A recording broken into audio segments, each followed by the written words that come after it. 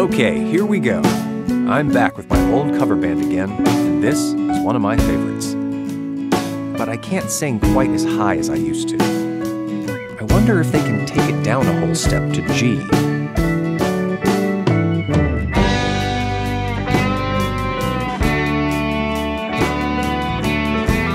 That's much better. That's transposition. This is Music Student 101. And now your hosts, Jeremy Burns and Matthew Scott Phillips.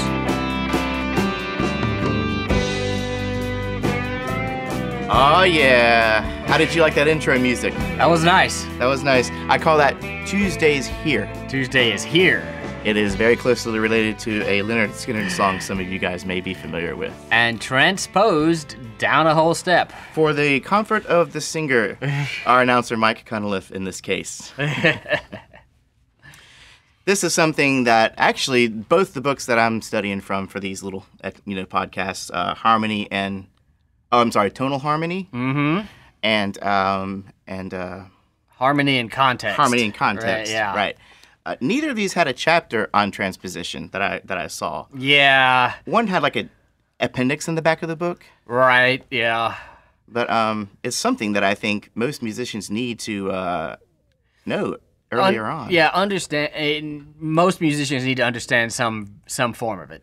Uh-huh. Uh, transposition is one of those things that there's a lot of sort of there's a lot of ideas under that one big umbrella of of transposition, and I guess it's considered uh, to be either an orchestral technique or um, an instrumental technique. You know, not not necessarily a harmonic technique, which is probably why it's not mentioned in a lot of textbooks Ah, at, at, at that level. But it's still very, very important. So, you know, it's, it's definitely something we need to talk about. how would you define transposition? I know there's two main kinds, but we're going to stick on on one for right now and go into the other later on. Yeah, so we can define them both now, I guess, if you want to. it doesn't matter. Let's just do one at a time. Okay, so in general, the act of transposition is uh, the act of moving music by a certain distance, up or down, using moving all of the notes uh, up or down by a certain distance for some reason. That is about as general as uh, as, as I can I can get. So chromatic transposition is the act of moving everything up by a certain interval, basically. So if I am playing a nice little melody here in C major.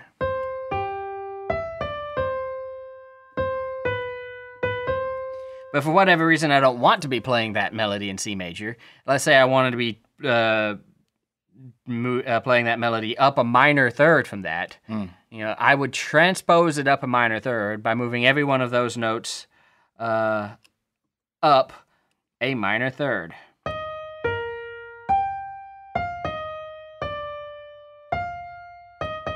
You know, So if I if I if I heard the first one Mm. And then somebody threw a whole bunch of pink noise or, or distractions or a, a symphony or something like that in my head and then I heard it again, I might think that was the exact same thing. Yeah, well, uh, intervallically it is. So the relationships between the notes that you're hearing are all still still there. You know, we've just we've just moved everything up a, a certain distance, and so instead of playing it uh, in C major whatever I did, I, don't, I, don't, I already forgot. Uh, you know, we've just moved it up a minor third, so now we're playing it in E flat major.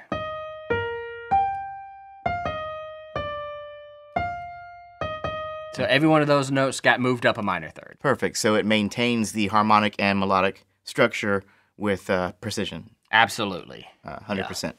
100%. Cool.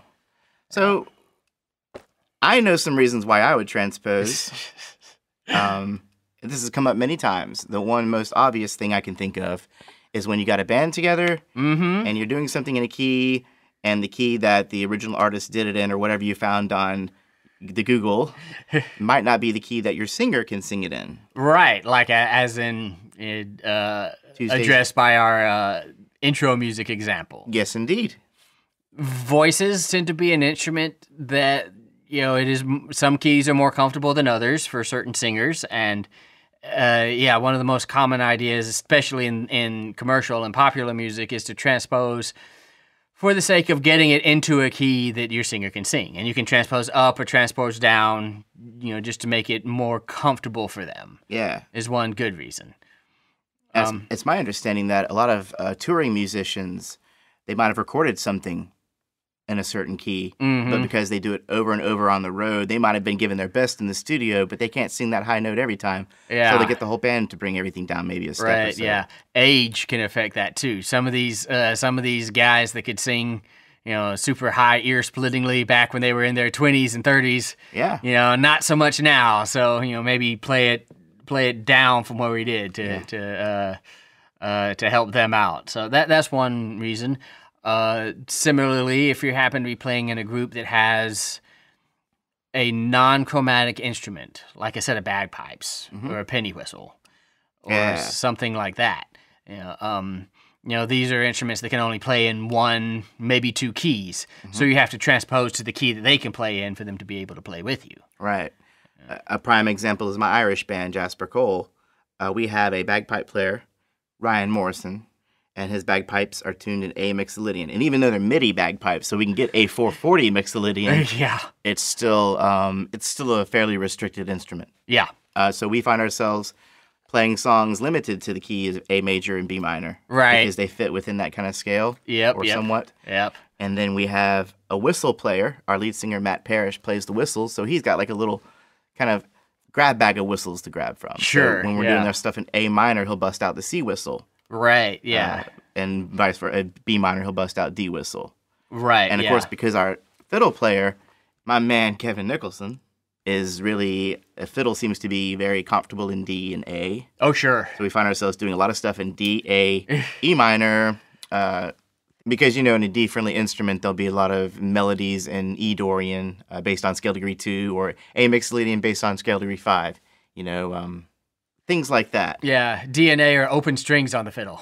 Open string, yeah. so they can lead to that really. Um, Yep. more open strings you have, I think, the better. Yeah, Maybe. right. For four stringed instruments, but then of course, you know, um, I've heard uh, pianists say they prefer they can prefer flat keys sometimes, like E flat and B flat. And Is that just because they fall more comfortably under their fingers? I suppose so. Maybe so, because Yeah. Yeah.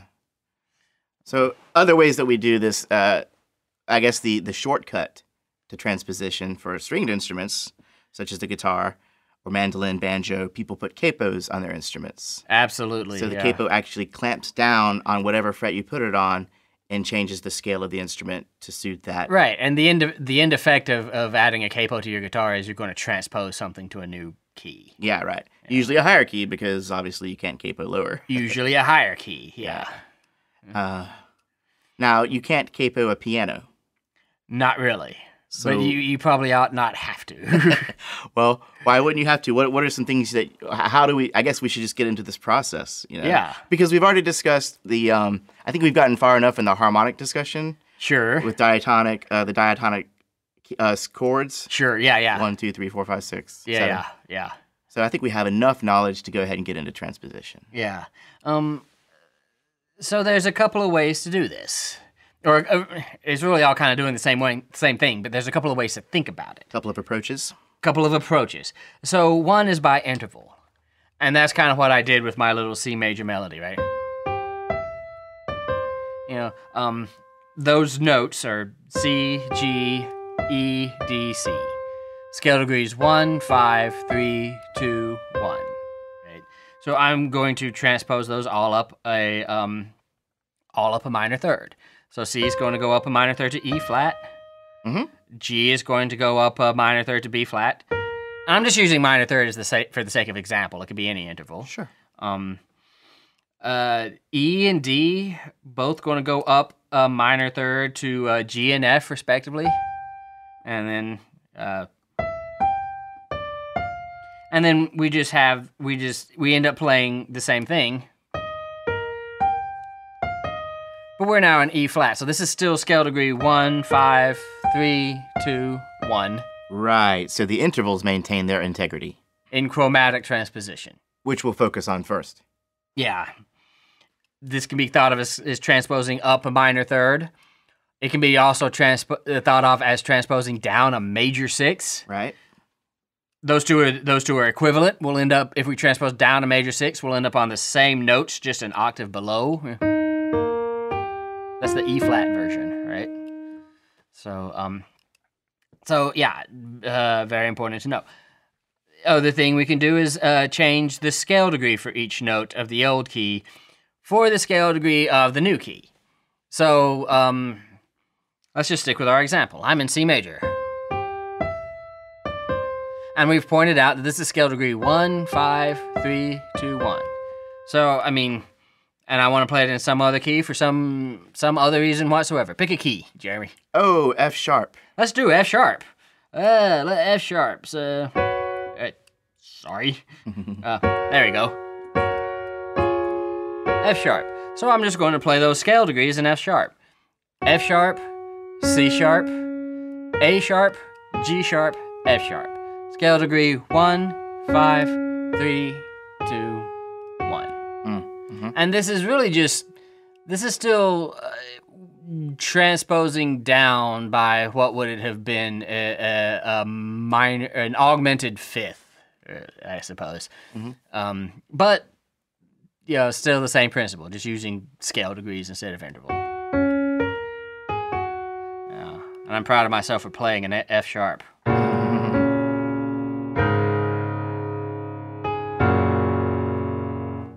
You go. Nice, man. Yeah.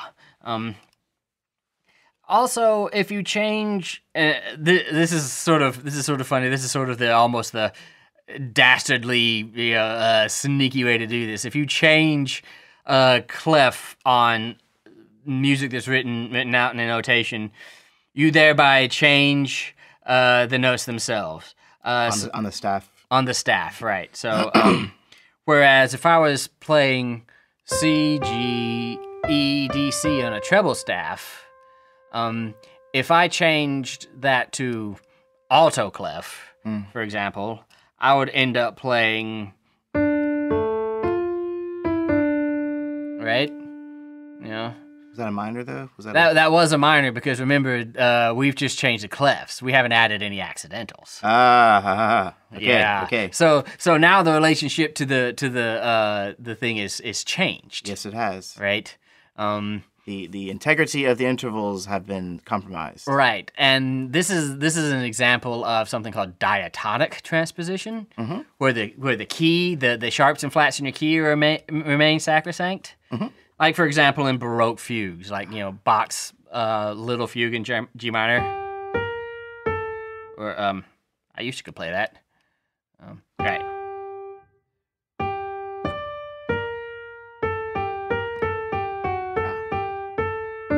And then, you know, uh,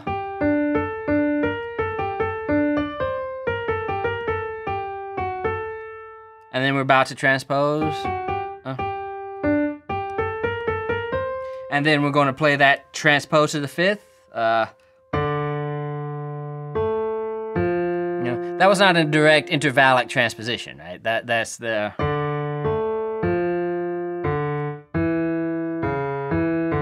or whatever it was, right? Uh, you see that a lot, where the where the key stays intact. Yeah. So, t- with our uh, old example, if I was to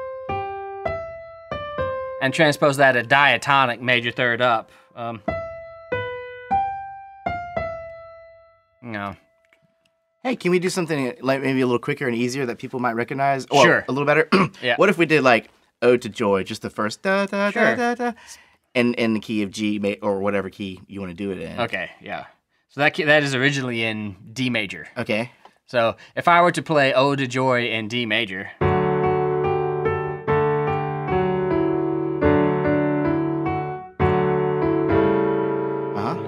and if I was to transpose it to diatonic minor third up, you know, the notes uh, then would would be um,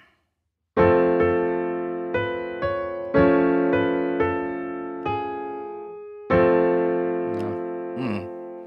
Because yeah, because the key was kept sacrosanct, And this changed the melody. and this changed the melody. I didn't quite recognize that as uh, Ode to Joy. Uh, yeah. Rhythmically, Uh, yes. Yeah, transposing Ode to Joy in minor third is kind of weird. I, sh- I should have probably done it in the by the fifth. Or what, maybe just the second, like from A major to B Dorian.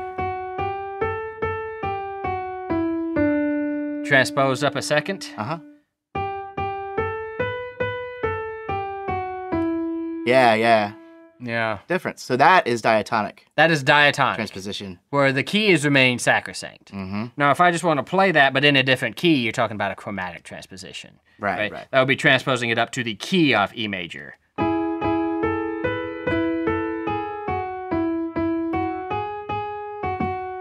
Hmm. Very good. Yeah. So, so far we've been discussing uh, transpositions with the melody specifically. Mm-hmm. So another part of that is going to be the harmonic content. Yes. So, real quick, I'm going to kind of talk you through my process of how I uh, accomplished the Tuesdays here, the opening track. All right.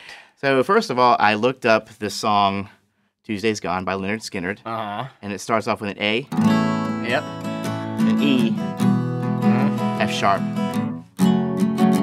Nice. D, and then back to A,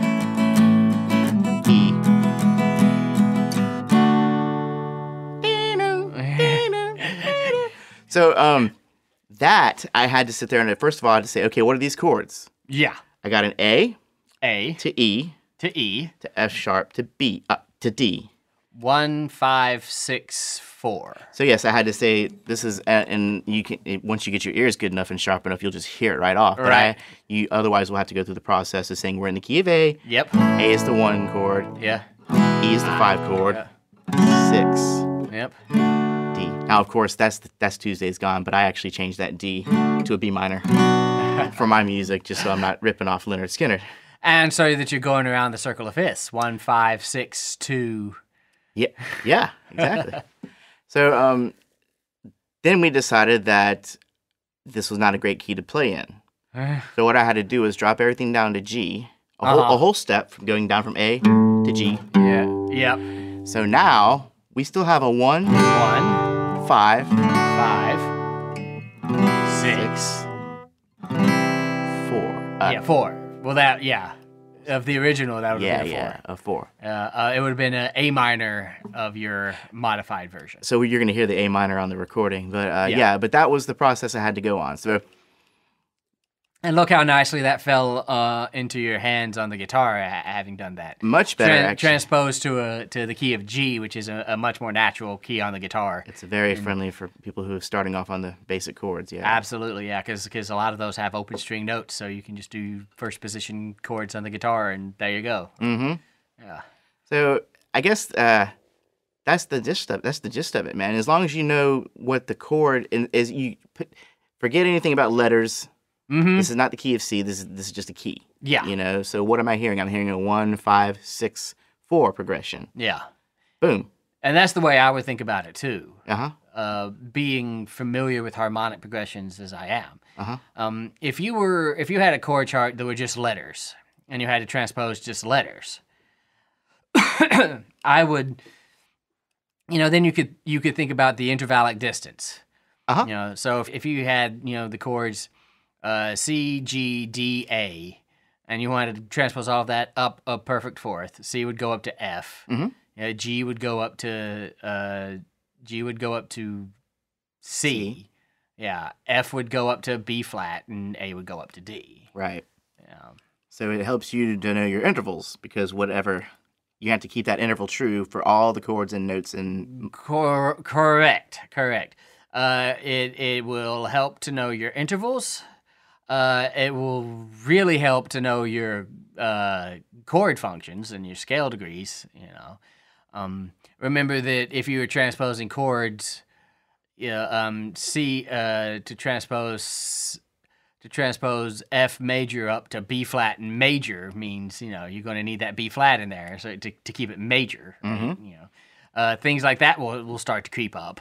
You know, so you better know something. Yeah. Well, by this point, if you're listening to this podcast in sequence, as we so recommend you As do, we so recommend you do. you should know about intervals, uh, and Yeah. melody, and harmony, right? Yeah, Diatonic right. chords. Yeah, yeah, yeah. And And, this and should be a breeze. yeah, yeah. um, and you know, if you're looking at written sheet music, you know, just move it up to the note you want and change the key to reflect that, and you're fine. So I think, hopefully, from our discussion thus far, most musicians who will be using this for the reasons, for the practical reasons that a lot of people do, to accommodate their singers, to accommodate Right. for maybe horn players who play in different uh, tunings. Right? Yeah.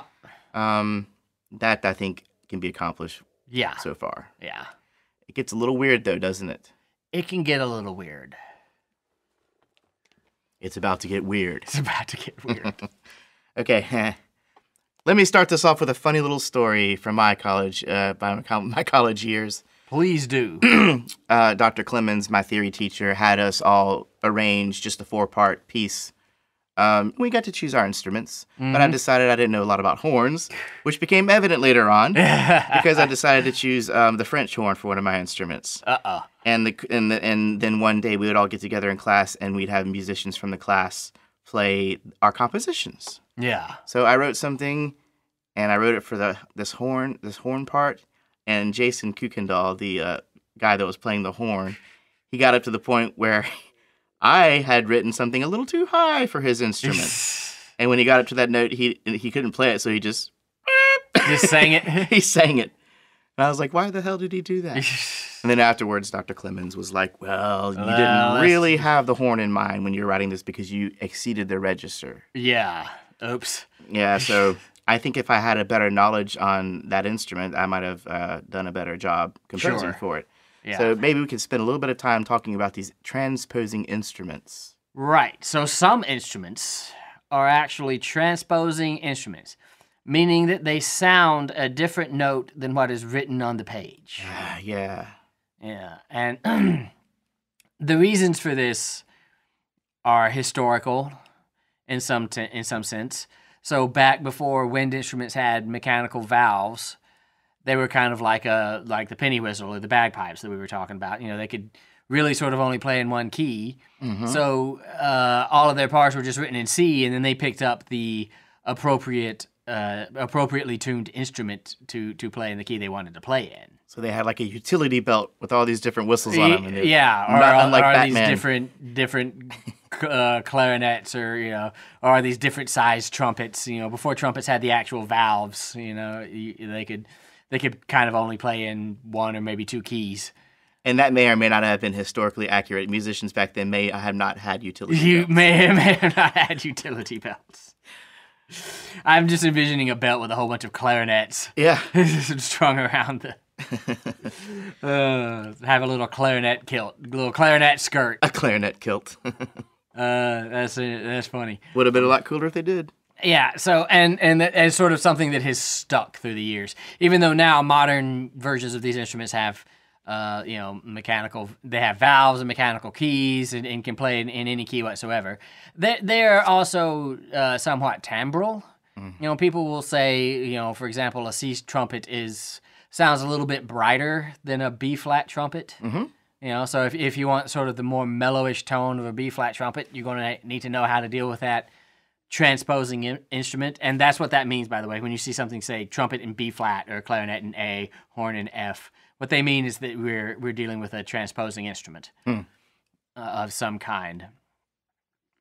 And uh, so they can be the reasons are historical, are somewhat timbral, uh, are you know a little bit f- more functional. You know, people s- uh, say that you know a, a clarinet in A is just easier f- to play sharp keys in, and they just fall under your fingers a little better. Mm-hmm. You know, so but yeah, you, if you're going to write for these instruments, you have to know how to deal with this because if you just write some music in or even a chord chart or something and just give it to a clarinet player, you know, they're going to be a whole step flat. Ah, You know, they just and, and nobody's going to know why because they're going to say, "Well, I'm playing the notes you gave me," and Uh-huh. you know, so so you need to know how to deal with this. So to make sure I understand this correctly, the composer himself or herself has to keep these transposing instruments in mind while they're while they're writing their piece. Yeah. So he's writing Say it again, Matt. Uh, there is a written note and there is a sounding note. And a sounding note. Okay. So, should I just go ahead and, and do this? Yeah, yeah, yeah. Okay. See what you got. I, I, I tried to explain it. I did not do well. So, for example, a B flat clarinet. Uh huh. What that B flat means is that when the written note is C and the clarinet player goes to play C On his instrument. on his instrument, the note that will come out is B flat. Hmm. Uh, to put it succinctly, it sounds a major second lower than written. Mm. And so that's the way you think of it. I like to just sort of think in my head, okay, written note, sounding note. And that's not just for the note C, that's for all the notes. They're Yeah. going to sound a major second lower than what you wrote. Hmm. Uh, because C is going to be B flat. So if I'm writing notes for the clarinet, I want to write notes that are a major second above the notes that I want to actually play. Right. Right. So that when he plays those notes, he'll he'll land on the right notes, that you're a major second below that. Man. Yeah. So for the musician, it's no problem. They just play what they see. the musician just plays what he sees. Now, you know, musicians are not dumb. You know, uh, clarinetists are aware of the fact that they that they play a transposing instrument. Uh huh. Uh, but you know, uh, you don't want to really ask them to transpose in your head unless it's really really simple, or they're really really good, or they're really really nice, and you know they're not going to throw their clarinet at you. Right, Uh, because and- that's a lot. That's a big mental ex- exercise. It could be a little bit of a mental exercise. And, you know, like I said, they're not dumb. And, you know, a lot of clarinetists and, and trumpet players and what have you are also really good. And, and you know, it, it's possible that you'll be dealing with a clarinetist and say, well, I can transpose. Uh huh. But you don't want to ask them to do that if you can help it. It's much better to just give them the notes and say, play these notes and it'll come out right. This is what being a composer or arranger or transcriber or what whatever. This is this is kind of part of what your job is, right? To to to get uh, to put on the page the notes that you need. The job that I did not do on that fateful day in my theory class. Exactly. Jason Kuykendall had to sing that high note. Exactly. Well, uh, you know, the, the horns are a great example of something that uh, can be really difficult. So a horn in F Uh-huh. transposes, uh, it, it sounds a perfect fifth lower than written, Mm-hmm. right? Because if you play C, if you write C, that horn is going to be playing a perfect fifth lower than that. It's going to be playing F, Mm-hmm. right? That's a pretty far way down. That's a long way to transpose Mm-hmm. right? Um, so the horn can have a limited range, as you learned, Uh huh. and that range is not as high as you think it might be, as you have learned, Mhm. right? So you know if you the horn really likes to play, you know, a sort of in terms of the actual notes, what we call the sounding notes, the actual notes that are coming out. You know, they tend to like, you know, low notes, bass clefy notes going up around into, you know, maybe the bottom half of the treble clef. Okay. You know, so up uh, up until about uh, so, um, you know, all all good options, and then up to, you know, and good horn players can play much higher than that. But you know, at this point, you have to stop to consider, you know, am I riding too high for the horn? Uh huh. You know, if you uh, if you wrote that, but you just wrote it in C, you know, um, uh, yeah, he's he's going to be playing down here, right? Mm-hmm. You know, um, and if you pl- if you wrote up, you know, up here, then he's he's right around the edge of where it's really hard for him to play, Okay. right? Yeah, as far as the organic, I guess the um, resonance of the instrument and the, Yeah. uh, just the way it's kind of laid out. Yeah, Is uh, embouchure? Yeah, uh, his embouchure, brass and wood instruments both, especially brass. It seems like to me, my personal opinion. Yeah, it, there's just there's gray area. Mhm. You know, it, it's not like um, it's not like some other instruments. You know, the piano can play up to here. Past that, I have no keys. Right. yeah. Um, with with uh, with the with brass, you know, it's sort of a question of well, how good is your brass player? You know, and what are you asking them to do? You know, higher notes are going to be louder. You know, don't ask them to play high pitched and soft. Okay. You know, th- that's not really something their instrument can do. Mm-hmm. You know, violinists can do that, no, no problem. Guitar players can do that, no problem. But horn players and wind players can't always play loud.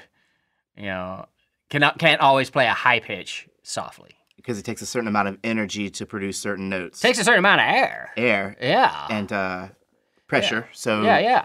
Um, otherwise it falls off. yeah, and some of this is more orchestration or anything. Yeah. But uh, but yeah. So the horn in F sounds a, a, a perfect fifth lower than written. Mhm. So if you want, if you want middle C, for example, on a horn, you have to write that that G that is above the the G that is the the second line of the treble clef, Mm-hmm. right? And, and so and then he'll play C. You know. So you, you have to write something other than what you think you're gonna hear. Exactly, yeah. And uh, I should have mentioned this before, but another reason for a lot of these transpositions is because because it's really hard to write for an instrument like that that's sort of between clefs. You know, you, you transpose it up and then you can write in treble clef. Uh huh. You know, you can just write in treble clef all the time, and and that's easy. You, they're not have, being asked to read a lot of ledger lines and things. You just have to know what you're doing, Yeah. hmm which is kind of your job if you're a composer or an arranger or something like that. You know, a a horn in F sounds a perfect fifth lower than written. An E flat clarinet or an E flat alto saxophone or something like that plays a major sixth lower. So if I write C, you know what they're going what they're going to play is actually that note there, hmm uh, E flat, E Flat. Right. major six lower. Okay. right? That's really tough. You know that, that that's a that's a kind of a messed up interval to have to transpose down by. But you can do it. You know, just write everything. You know, um, if I want them to play, uh, if I want them to play the note G, I have to think about what's a major six above G. You know, Yeah. and and write E. Hmm. Yeah, and some of this is just is just knowing, you know, uh, knowing what you're writing for. Shall I prattle out a quick list of the transposing instruments that I have here? Yes, uh, Because there's more than I thought there were. there are a lot. Yeah, no kidding. Okay, so let's just take it from the top. Like you said, we got the English horn in F, right? in F. Perfect fifth And lower. you know, neither English nor horn, but it is an F instrument, so it sounds a perfect fifth lower, just like the horn. So, so there's like three categories. There's there's the instrument, there's the sound with respect to notation, Yes. and then there's the transposition needed to notate. in other words, the instrument, the sounding note, and the written note. Yep. So, and the horn, in the case of the F horn, the uh, the uh, sound with respect to notation is a perfect fifth lower. Transposition needed to notate is a perfect fifth up. So I guess that just they complement. That is a theory textbook way of saying what we just said. okay. Well, then let me not worry about that, all that, all that other stuff. I'm just gonna go through the instruments. Okay. Good plan. So we got the English horn in F. English horn is an F instrument, just like the horn. Perfect fifth lower. Clarinet, we have three. Mm-hmm. There is a B flat clarinet, Major second low sounds major second lower than written. An A clarinet, Sounds a minor third lower than written. and then an E flat clarinet. Sounds a major sixth lower than written. Yep. Minor three higher, major six lower, same difference. Mm-hmm. Bass clarinet in B flat. I guess that's plus an octave. That is actually a major ninth lower. Very good, very good. because it, it gets down there in in the bass clef, and it's really a bass instrument. Even though when you you, you write for it, you're writing it as a treble instrument. Uh, Yeah, yeah, that's nutty. That is that is nutty. So that's the clarinets. Now we- shall move on to the saxophones. Mhm. Because I was often um, out here soprano sax, alto sax, Yeah, yeah. but I never exactly knew what what they. And here we go. Here we Yeah. go. So the soprano saxophone is in B flat, right. uh, major second lower. Yeah, nice and easy, just like a lot of things. Alto saxophone E flat. E flat. That's that major six, just like the E flat clarinet. Yep. Uh, tenor saxophone B flat. Yes, B flat, but an octave, right? Oh yeah, B flat plus an octave. Mm, B flat. Yeah. So major second plus an octave, Major otherwise known as a as a major ninth. Yeah. Baritone saxophone, also E flat, just like the alto saxophone. Mm-hmm. But is that one also plus an octave? It is. Yeah. It is. So major six plus an octave. That's actually pretty low. Yeah. Which is baritone, I guess. That's Which is baritone, yeah. Still writing in treble clef. Um, and then we talked about the English horn earlier, but now we're going to talk about the other horns. Yeah. Are these all French horns or what? Or cornets or what? Are, what are these? If just They're, if, if you call them horns, then they're referring to French horns. okay, okay. So we got the horn in F as we yeah, the most common. the most common. Okay, F for French. F for French. That's there one way to remember that. uh, e flat. Mhm. The horn, E flat horn. These are all the same recipes. Yeah, major right? six lower. Yeah, anything that's called E flat. Major six lower. Mm-hmm. And then an E. There's an E horn. Yeah, probably more comfortably can play in sharp keys. I would imagine Sharp keys, eh? sharp keys because E major is a sharp key. Yes, you are right. All that work paid off, Matt. I knew I knew something. yeah. And then finally, there's a D horn. Right, which is actually a major second higher, right? Mm-hmm. Yeah.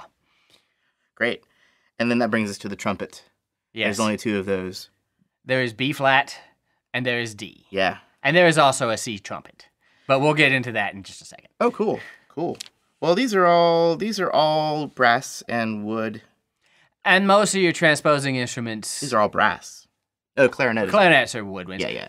Uh, yeah, these are are um, mo- wind instruments are most typically what transposes. So woodwinds and brass. Is that me or you? That's probably me. Skipped lunch. Oh, yeah. You gotta get some food in your belly, man. well, we don't have too much more to go. I mean, we're kind of reaching Yeah, reaching the end of we're all getting this. towards the end here. Um, and my stomach is doing it too. Actually, there's gonna be like whale song in the background. The hungry podcasters. Okay, so there's a list of the transposing instruments. Is there anything else we should cover regarding those? You'll you'll be happy to know that not all instruments transpose, Yeah, as you've probably surmised. yeah. All the ones I don't play. right. I mean, all the ones I do play. All the ones you do play Yeah. are non. What this is what we call C instruments, meaning they play the note that is written. If you write C, it will sound C. Uh, beautifully simple, right? Yeah, So these are all the strings: yeah. uh, violin, viola, cello, bass, uh, guitar, mm, you know, mandolin, banjo. These uh, all almost anything with a string on it is a C instrument. Piano obviously is a C instrument. Um, flutes and oboes and bassoons are C instruments. Uh, bass brass instruments like trombones are C instruments. Uh, tuba Yeah. is a C instrument. You know, and all of their uh, that's all of their uh, uh, um, uh, variations to the tenor trombone and the bass trombone and the tuba and the euphonium. You know, all C instruments. Anything that plays in bass clef is going to be a C instrument. Okay. Um, timpani are C instruments for what for what that's worth. Ah, Uh, yeah. So uh, by C instrument, that means play exactly the note that's written. Play the non-transposing. Right. You you read it, you play it. You read it, you play it. Now there are a couple of little tiny, not hard to get your brain around caveats with that. Uh, there are C instruments that play the that, that are technically transposing instruments, and that, that they play an octave below what is written, such as the contrabass. Okay. Uh, the the stand up bass. You will be playing notes in the bass clef, playing along, and the notes you are actually playing are an octave below that. That is what the term contra means. Oh, Yeah. cool, Mhm. cool. Yeah, yeah. It mean it means beneath. And they would uh, back in back in the early Baroque when these instruments were first coming into prominence, they would just give the same part to the cellists and the bass and the bassists. The bassists would just be playing the same part, but because of their instrument, it'd be below. It'd be an octave below. Yeah, still the same note, just an octave below. Uh, the guitar actually plays an octave below. Hmm. Yeah, interesting, huh? That is interesting. Yeah. Um, there are some instruments uh, that play an octave above. For example, the piccolo Okay. uh, plays an octave above the note written. So again, you know, you can just give a flute part to a piccolo player, and they would play the same part, but because they're on a piccolo, they're playing it an octave above. And the piccolo is the highest registered instrument. Yes. Is it not? Yeah. Yeah. Okay. Yeah. Yeah, yeah, yeah, yeah, yeah, yeah. Uh, so so there's that. So far, so good. So okay, Jeremy, how about this? Let's let's test your knowledge now. Uh oh. I'm writing for B flat trumpet. Okay. and I ha- and I have written the note. Uh, I have written the note F sharp. Okay. Although, you know, my trumpet player would kill me. Let's say I've written this note F sharp. Okay.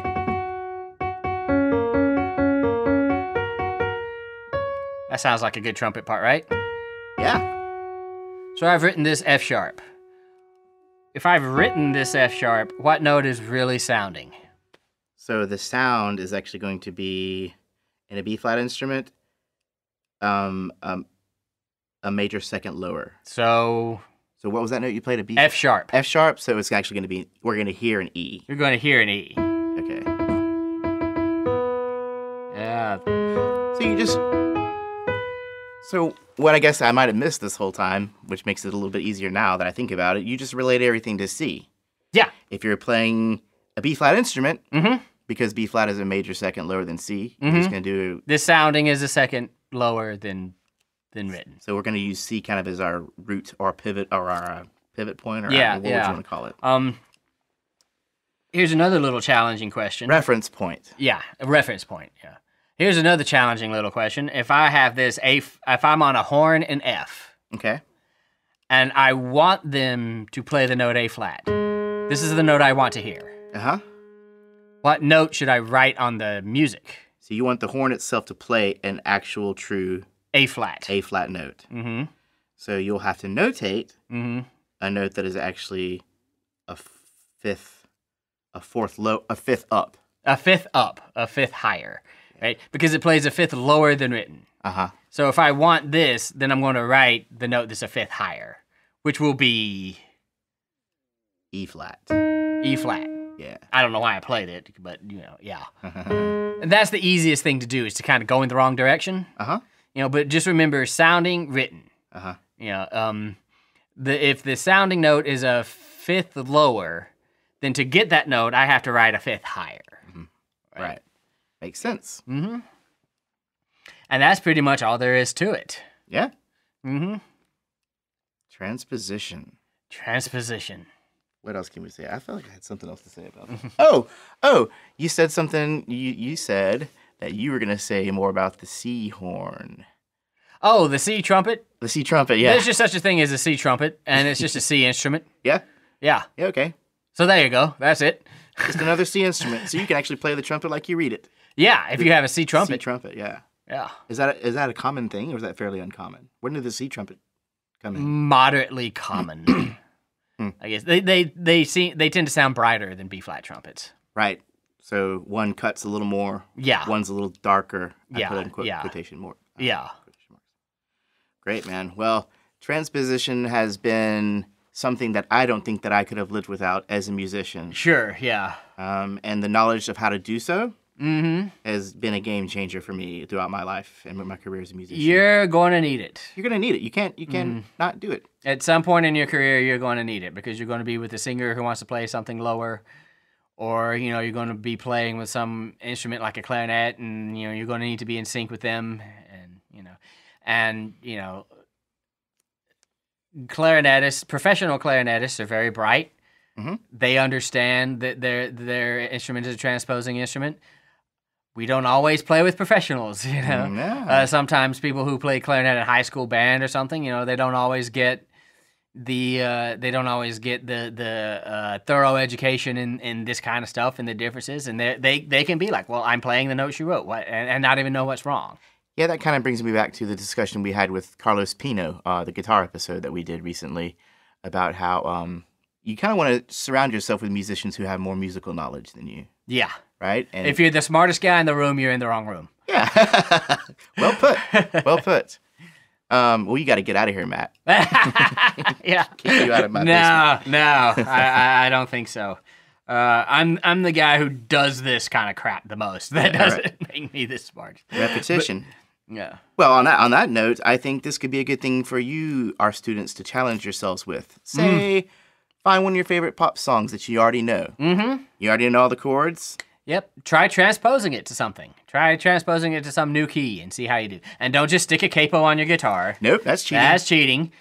You know, uh, actually transpose uh, to, to some new key. It's a great little exercise. And if you're doing something in the key of G, yeah, you can transpose it to C. Yeah, you can transpose it to D. But hey, why don't you challenge yourself a little bit? Transpose it to A flat. A flat, E flat, Yeah. something crazy and weird like that, something you're not comfortable or familiar with. Yeah. Transpose it to B. B sucks on a guitar. Yeah, no kidding.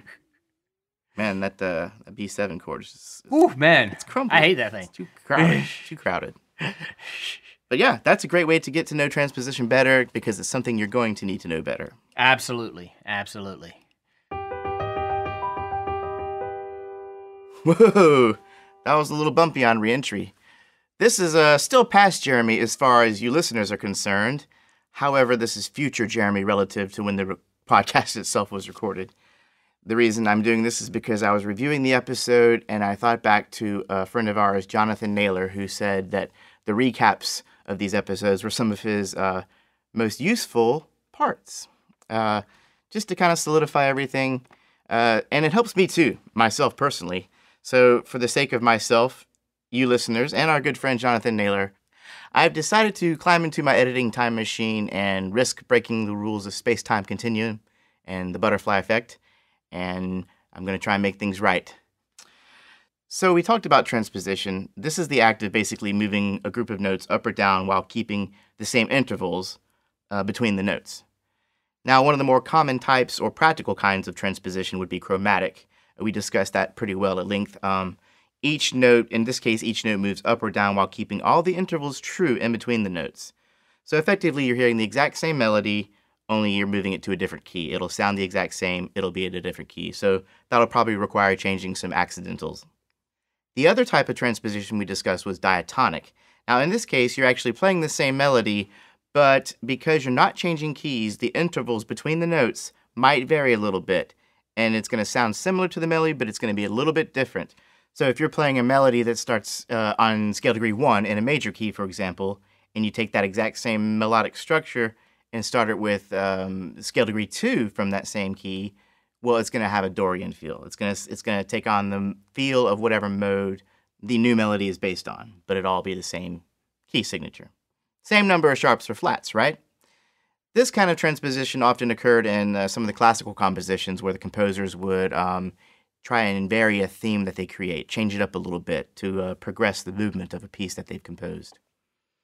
Now, when and why would we use transposition? Well, sometimes uh, a group of people might get together to play some music, a band or whatever, and uh, maybe the original piece of music or the key that all the rest of the band knows it in might be too high or too low for the singer to sing it in, in which case they'll need to transpose it down or up respectively. Uh, in other instances, some instruments sound better or feel better or have more richness when they're played with open strings. So maybe a guitarist might want to hear something in G that was originally done in F sharp.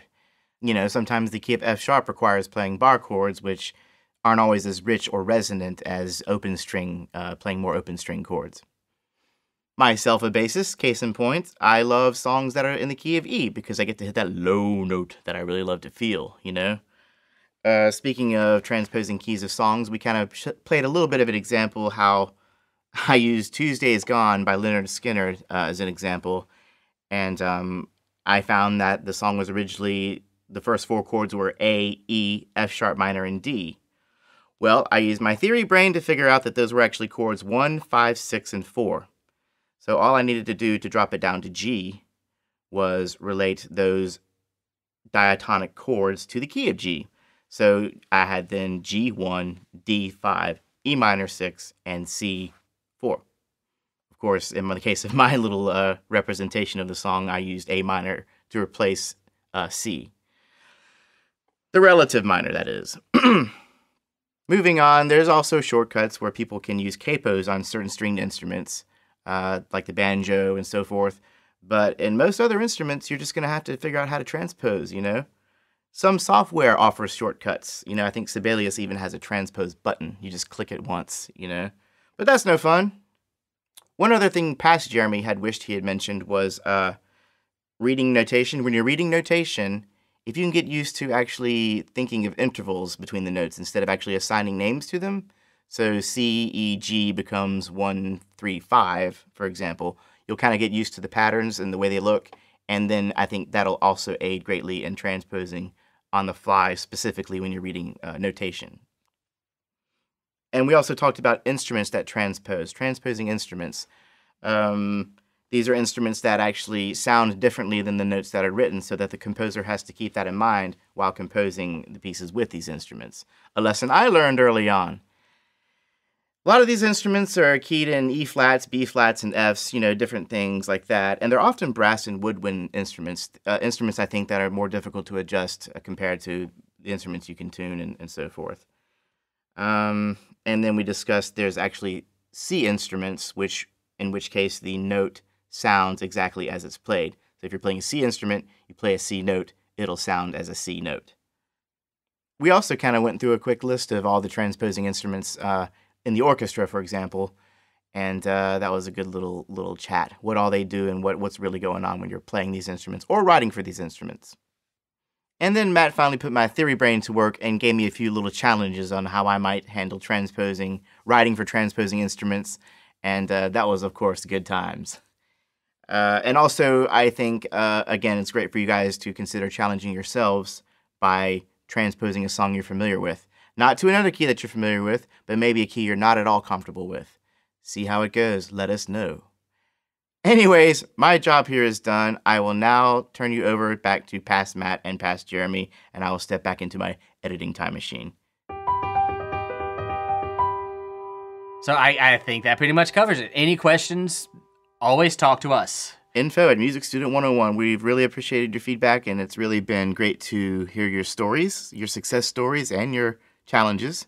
We'd love to be able to help you out with those kind of things. Yeah. And if, there, if there's anything, you know, I'm fully aware of the fact that I don't always describe things exactly as, as absolutely clearly as possible. So if there's anything that's unclear, email us. We'll be glad to discuss it further. You know, you'd be surprised at how responsive we can be to the Facebook. Uh, if you just post Yeah. a question on the Facebook page, one of us is going to come in It there and, and answer it. Yeah, one of us is going to come in there and answer it. Absolutely. Speaking of social media, as long as we've been doing this, I think we have 170 Facebook likes. uh, spread the word out there. Uh, Yeah. help us out. Uh, like us on Facebook. that seems to be the way to get get get our stuff. You guys like us, right? You like us? So like us on Facebook. Please like us. but yeah, and uh, do that, and we'll uh, we'll we'll respond forthwith, yes. and uh, you know, send us a message for a private discussion or put it up on the feed for group discussion. Absolutely. It'll be fun. So we'll see you on Facebook. Yeah, hopefully. Until next time. See you soon.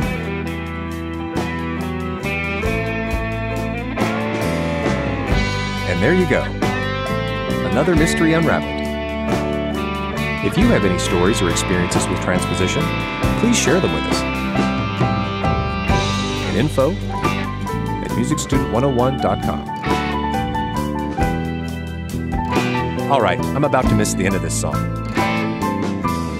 Until next time.